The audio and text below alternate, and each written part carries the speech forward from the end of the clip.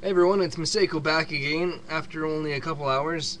I've got it fairly tuned. I think I just need a little bit of fine fine tuning here and there.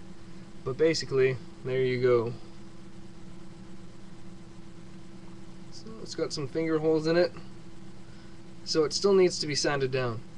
Now I'll explain to you about this um, kind of shiny finish it has right now before being fired. It looks nice if it could stay like that. Unfortunately, when it's fired, that kind of shininess goes away. But it's hard to really explain.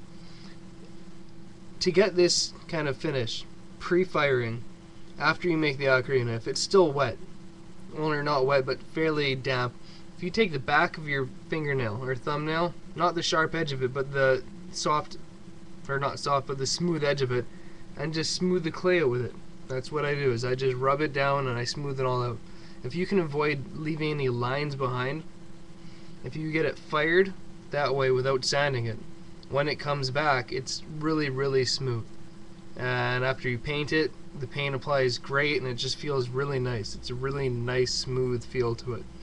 As uh, compared to when you sand it down and have it fired when you get it back, it still feels fairly a little bit not rough but a little bit porous more so than it does with this way.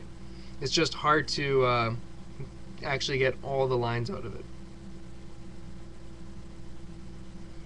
So anyways it's sounding pretty good how it is I think. Um, I'll play a little tune on it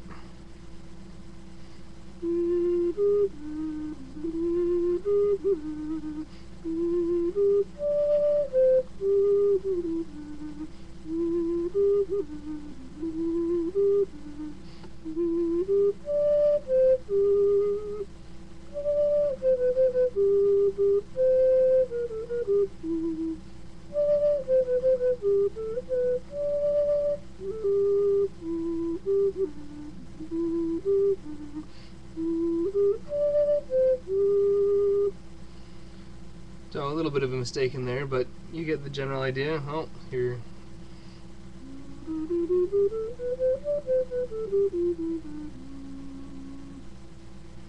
So it still needs a little bit of fine tuning, but basically, I think it's just about done.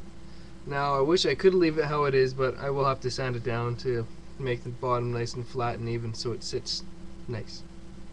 Alright guys, tell me what you think, and yeah, get back to me. Take it easy, guys. See you later.